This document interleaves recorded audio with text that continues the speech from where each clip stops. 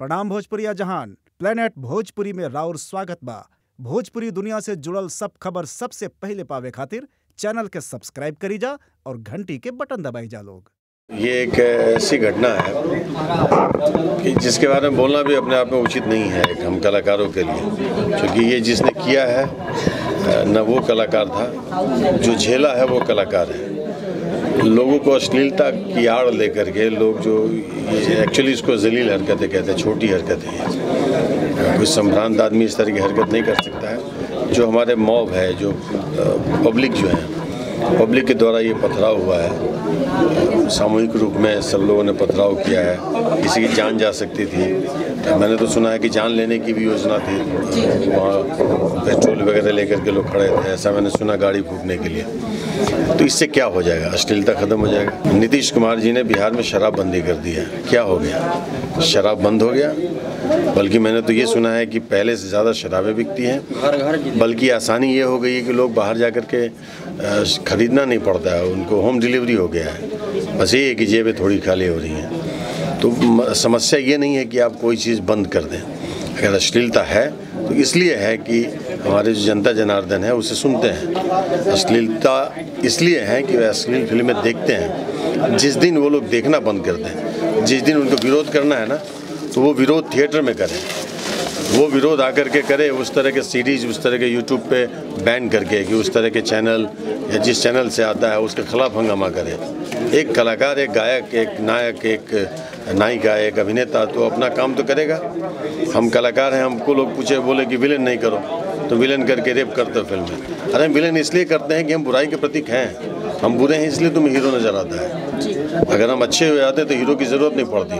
अगर अश्लील गाने बनते इसलिए हैं कि आपको अच्छे गाने की परख हो आप अच्छे गाने सुनिए बुरे गानों को नकार दीजिए। लोग क्यों बनाएँगे बुरे गाने? ये तो बाज़ार है एक सिनेमा है एक व्यवसाय है हम सब एक कमर्शियल एक्टर हैं।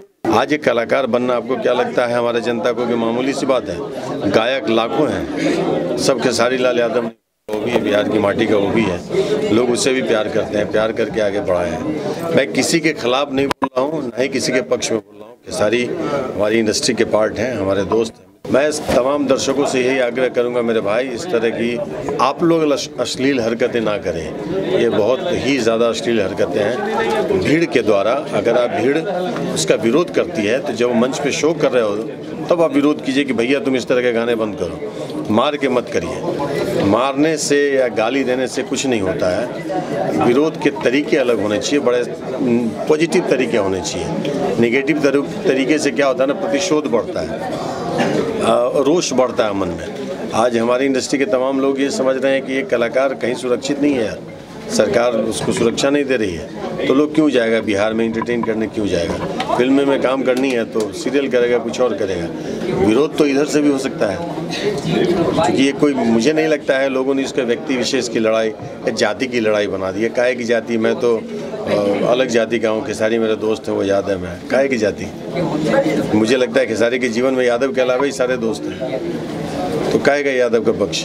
कोई ना यादव, ना कोई राजपूत। एक कलाकार की अपनी एक अलग प्रजाति होती है। हमारे अंदर केवल प्यार है हम केवल अपने कला को बांट सकते हैं, अपने कला के द्वारा लोगों को इंटरटेन कर सकते हैं और जो हमारी पूंजी है, हम उसे ही लोगों तक पहुँचा सकते हैं। बाकी हमारे पास ऐसा कुछ नहीं है, कोई ए के फोर्टी सेवन नहीं है कि हम दौड़ के जाके किसी को मार दें। हम अपनी बातें अच्छे तरीके से बोल सकते हैं, जो अच्छे तरीके से बोल रहा हूँ कि अश्लीलता को ख़त्म करना है, अश्लील फ़िल्में देखना बंद कर दीजिए, अश्लील गाने सुनना बंद कर दीजिए, जो सुन रहे हो, मारिए उसको। आप सुनते देखते हैं ना, आप सुनिए, जो सुनने वाला हो, जो कान में लगा करके सुन रहा हो, पूछिए कि कौन सा गाना सुन रहा है, अगर अश्लील हो तो उसको मारिए। अब कलाकार को मारते हैं, कलाकार तो अपना कला दिखा रहा है। कला का आकार जो जनता के हिसाब से दे, वही कलाकार होता है।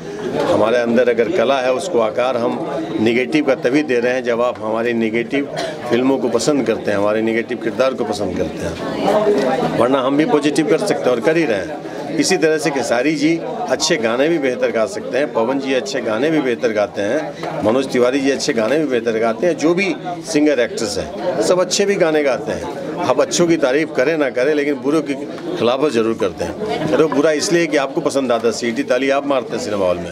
आप ऐसी फ़िल्मों के सर आए हैं। मुझे भी बड़ी शर्म आती है कभी कभी कि हमारी इंडस्ट्री में ऐसी फ़िल्मों का हिस्सा बना हूँ मैं, जो फ़िल्म मैं नहीं देख सकता तो आप कैसे देखते हैं? उसको सुपरहिट बना देते हैं। क्यों बनाते हैं भाई? मत बनाइए। आप सुधर जाइए। जनता अगर बदलाव ले आए ना खुद के अंदर, सरकार तक बदल जाती है। हम कलाकारों की औकात ही क्या है? बदलिए, आप बदलिए। बदलाव आपको आवश्यक है। हम कलाकार तो अब नया बदल जाएँगे जनता वही दिख, जो देखती है वही हम दिखाना चाहते हैं। आप बुरा देखना बंद कीजिए कोई बुरा नहीं दिखाएगा। और क्षमा करेंगे इस बातों पे बहुत सारी बातें हो गई हैं।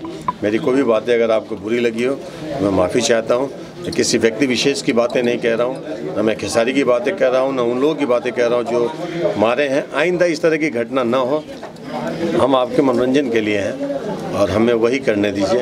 कुछ और सोचने पर भी मजबूर ना होने दीजिए। हम बड़े प्यारे हैं। प्यार दीजिए। आशीर्वाद दे करके यहाँ तक पहुँचाए हैं। उस आशीर्वाद को बनाए रखिए। संघर्ष, या भी संयार गलेना वो रियलिस्टिक कंटेंट पे बना रहे हैं। उनकी खुद सोच होती है कि अच्छी फ़िल्में बनाएँ, ताकि हम अपने घर परिवार में जाए तो खुद भी शांत से और गर्व से रह सके कि मैं इस फ़िल्म का हिस्सा हूँ। देखो, ये फ़िल्म बड़ी अच्छी परिवार के साथ देखो। जैसे संघर्ष को लोगों ने देखा। संघर्ष में मुझे नहीं लगता कि कुछ अश्लील है। कुछ शब्द अश्लील होते हैं आप सुनने वालों का विरोध करिए ना। सिनेमा हॉल में फ़िल्म देखने जा रहे हैं, अगर फ़िल्म अश्लील हो, बुरी हो, आप तुरंत प्रतिक्रिया दीजिए। मुझे लगता है कि अब कलाकार को कला करने दीजिए। बाकी भैया, हम सीधा साधा आदमी बने जाए हम सब। जाति, धर्म सबसे अलग, परे। हमने कि एक ही जाति बा, एक ही धर्म बा। कलाकारी और मनोरंजन। बस, इससे ज़्यादा और कुछ